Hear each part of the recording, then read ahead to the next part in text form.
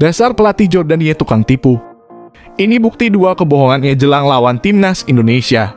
Kebohongan yang pertama, pelatih Jordania sebut Sandy Walsh dan Jordi Amat masuk skuad timnas Indonesia di kualifikasi Piala Asia 2023. Berikut kutipan beritanya. Anan Hamad juru taktik Jordania sudah melakukan blunder kebohongan ke publik dengan menyebut timnas Indonesia bakal diperkuat dua pemain yang merumput di Liga Belgia, Sandy Walsh dan Jordi Amat saat menghadapi timnya.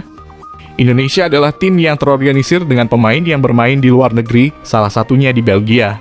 Jadi kami harus melakukan yang terbaik untuk mengalahkan mereka.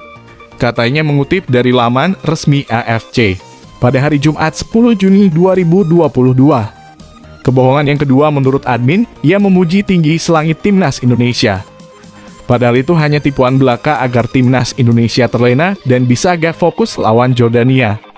Berikut beritanya, pelatih Yordania, Adnan Hamad, muji kualitas para pemain timnas Indonesia menjelang pertemuan kedua tim di kualifikasi Piala Asia 2023. Menjelang laga melawan Indonesia, pelatih asal Irak itu terang-terangan memuji kualitas pemain timnas Indonesia. Menurutnya, Indonesia memiliki tim yang bagus dan terorganisir dengan adanya beberapa pemain yang bermain di Eropa. Selain itu, ia juga menilai kemenangan atas Kuwait membuat tim asuhan Shin Taeyong itu memiliki tekad yang lebih kuat untuk lolos ke putaran final. Oleh karena itu, Hamad menjanjikan bahwa timnya akan memberikan performa terbaik demi meraih tiga poin.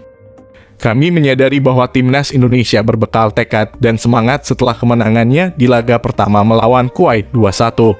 Kemenangan Indonesia atas Kuwait mengubah prediksi di grup ini, Hasil itu membuat Indonesia memiliki peluang yang setara untuk lolos ke Piala Asia 2023. Kata pelatih Yordania, Adnan Ahmad, mengutip dari laman resmi Federasi Sepak Bola Yordania.